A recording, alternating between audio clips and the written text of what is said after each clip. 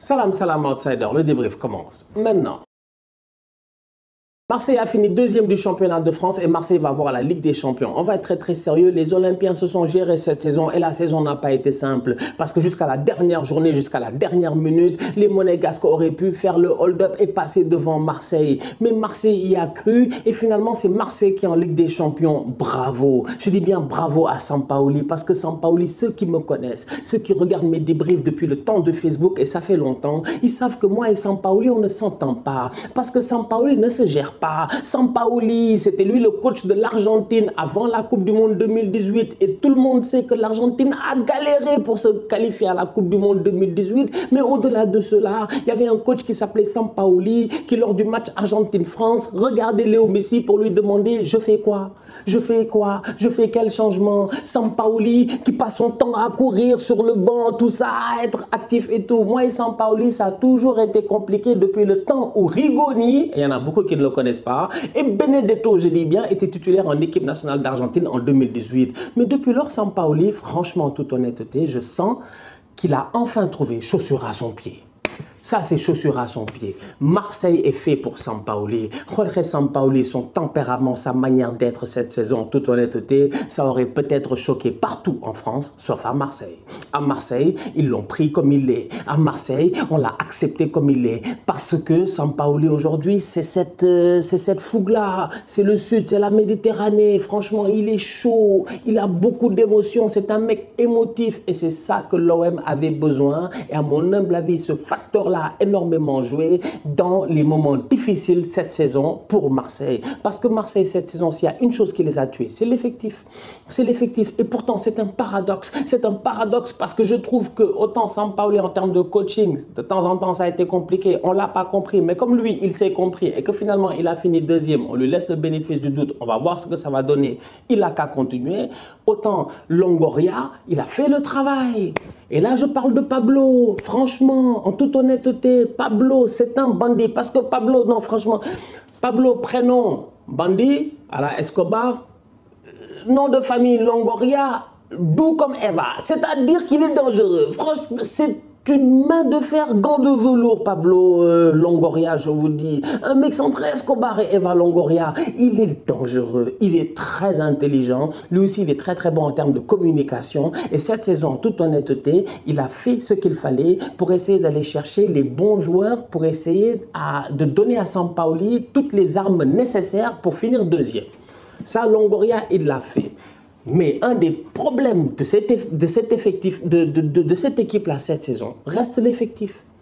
C'est ça qui est fou. C'est que Longoria a fait un bon travail, Sampaoli, ça va, mais l'effectif reste compliqué. Marseille ne peut pas continuer comme cela. À chaque fois que Payet n'a pas été là, Marseille a galéré. À chaque fois que Payet, je dis n'a pas été là à certains moments de la saison et des moments importants, Marseille a galéré. Dimitri Payet est un moteur dans cette équipe-là. Il va falloir trouver un moyen de jouer sans Payet ou trouver un moyen de remplacer Dimitri Payet. Et quand j'ai remplacé Dimitri Payet, c'est pas le mettre sur le banc, non, loin de là, mais c'est trouver un joueur qui peut prendre la charge de travail de Payet et amener cette créativité-là qu'à Dimitri Payet. Amin Harit, c'est un très très bon joueur. Ça fait partie maintenant de ce que Longoria il doit décider. Parce qu'à un moment donné, sincèrement, quand je parle d'effectif, je le répète encore une fois, à mon humble avis, c'était ça le problème de Marseille cette saison. C'est l'effectif. C'est l'effectif. Amin Harit, il est très très bon. Mais dans cet effectif-là, il y a plein de joueurs qui, à un moment donné, ont manqué de constance. Cette saison, ça a peut-être été de temps en temps compliqué, mais on a vu en eux du talent. Harit, Bambadien, franchement, mais Bamba, il pousse-casse de la saison, il n'y a pas de problème, bravo. Il claque ses buts, il n'y a pas de problème, mais Bamba peut mettre 7 buts de plus peut mettre des buts importants en Coupe d'Europe. Malheureusement, il rate beaucoup, mais c'est pas grave. Il va évoluer, il va grandir la saison prochaine. Donc du coup, il y a des choix qui vont devoir être faits par rapport à la Ligue des Champions. Comme je dis, cet effectif-là a besoin d'un petit coup de pouce. De temps en temps, c'était compliqué en championnat, mais si tes Bambadjian là, ils avaient un tout petit peu plus d'expérience, les buts, les claquent. Les Harit, la même chose. Franchement, en toute honnêteté. Donc aujourd'hui, je regarde Marseille et j'ai envie de dire que Longoria et Sampaoli, pour être compétitifs en Ligue des Champions, ils ont un sérieux travail à faire. Défensivement parlant aussi, il va falloir trouver des solutions. Qui sera le gardien numéro 1 la saison prochaine? Il va falloir trouver une solution définitive. Est-ce que ce sera Lopez? Est-ce que ce sera Mandanda qui va rester ou quoi que ce soit? Il va falloir que Sampaoli se gère. Euh, les latéraux, c'est compliqué. Kolasinac, on l'a amené, mais vous-même, vous avez vu que Kolasinac, voilà, c'était Kolasinac. Déjà, Arsenal, c'était compliqué. Là, on a vu que c'était doublement plus compliqué. Luan Perez peut dépanner de temps en temps, mais tu as besoin vraiment d'un top latéral. Je ne sais pas qui Marseille va aller chercher.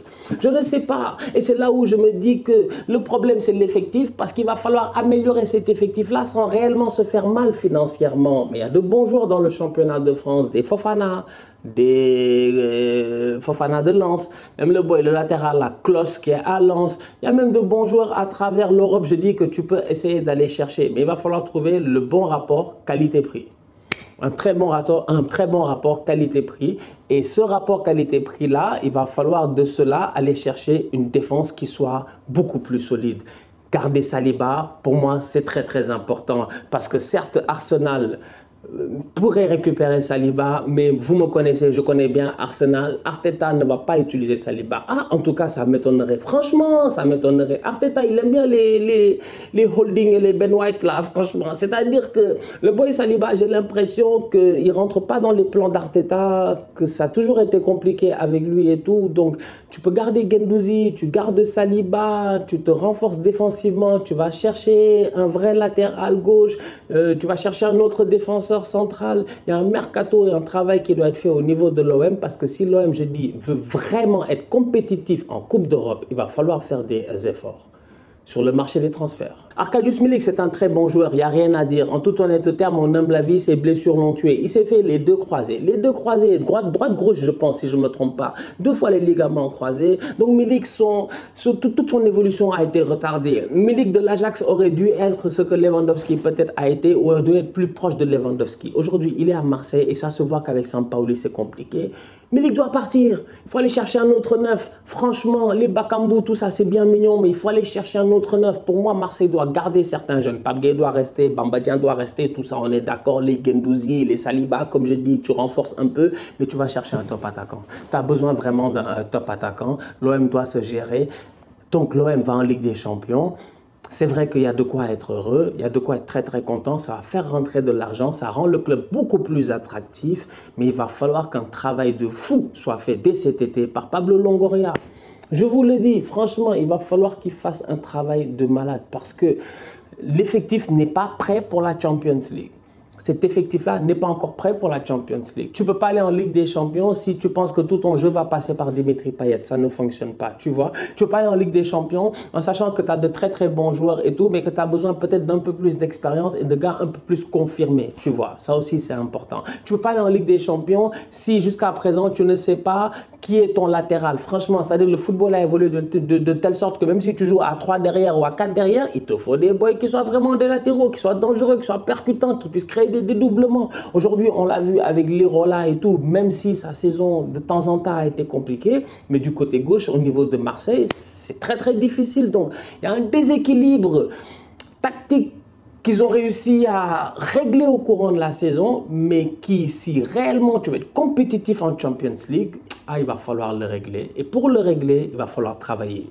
administrativement, comme des malades. je dis comme des malades. Le mercato à Marseille, les rentrées, les sorties, tout ça, et du pain sur la planche. Je ne peux pas finir sans parler de Boubacar Kamara. C'est un top player. J'aurais aimé le voir avec l'équipe nationale du Sénégal. Malheureusement, il a décidé d'aller avec la France. C'est son choix, c'est son droit, c'est à respecter, franchement. Mais à mon humble avis, si on me demande mon avis, j'ai envie de dire, Boy Kamara, c'est dommage. Tu aurais pu rester déjà à Marseille pour jouer la, la, la, la Champions League parce qu'il y a quelque chose à Marseille. Il y avait moyen.